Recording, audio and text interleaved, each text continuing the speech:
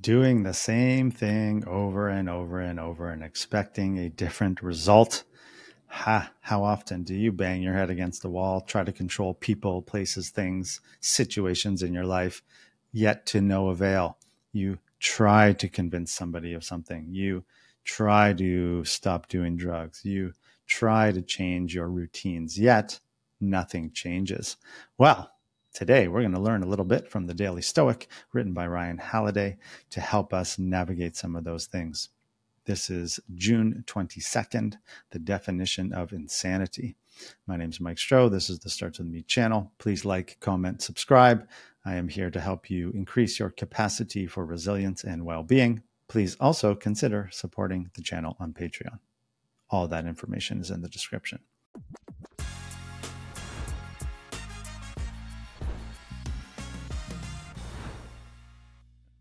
Okay, June 22nd, the definition of insanity.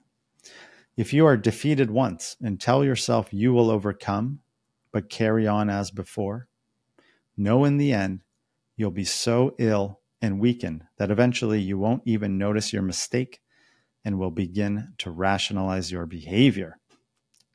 Epictetus Discourses 2.18.31. Beautiful, beautiful. To me, that smacks of this idea of denial. Don't even notice I am lying. Another insightful piece to that is rationalize, justify, minimize.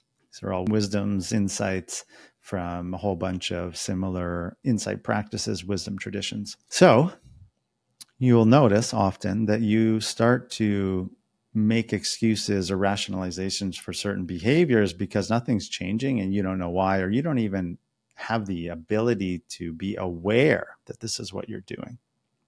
So, hopefully, this reading in this video can help you navigate that. I'll keep reading here. It's been said that the definition of insanity is trying the same thing over and over, but expecting a different result. Yet, that's exactly what most people do. They tell themselves, Today I won't get angry. Today I won't gorge myself.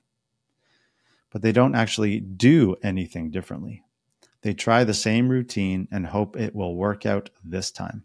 Hope is not a strategy. Failure is a part of life we have little choice over. Learning from failure, on the other hand, is optional. We have to choose to learn. We must consciously opt to do things differently, to tweak and change until we actually get the result we're after. But that's hard. Sticking with the same unsuccessful pattern is easy. It doesn't take any thought or any additional effort, which is probably why most people do it. Okay, well, can you think of a situation in your life where you're doing something like this? For me right now, this relates mostly to me wanting to lose weight. I tell myself I want to lose the weight. I get upset with myself when I'm not losing weight. I weigh myself all the time. Yet, I often make decisions that contradict that. So, some of the things I have done is I am exercising more, quite a lot more. I'm doing my best to eat more protein, avoid sugar as much as I can, because no doubt I love eating sugar and candy and chips. I am a junk, food junk addict, no doubt. It's probably my only vice left. So maybe that's why I don't want to let it go. Anyhow, it's hard, right? And so the way I navigate that, when I again kind of find myself spinning, ruminating that I'm not doing what I say I'm going to do, rather than make excuses in some sense, I catch myself and I just say, You're right. I'm choosing not to lose weight because I'm choosing to do behaviors and actions that are not contributing to me losing weight. So for me, at least, I'm not anymore in this cycle of denial or of sort of frustration and anger that I'm not losing weight because I know I'm not willing to do many of the things that are necessary for me to lose weight. And at the same time, I am trying to introduce behaviors and practices, if you will, to help me lose weight. And this is something that I'll probably check in with everybody on uh, in a future video. Anyhow, can you list out a few things or situations in your life where you are being a reflection of the definition of insanity?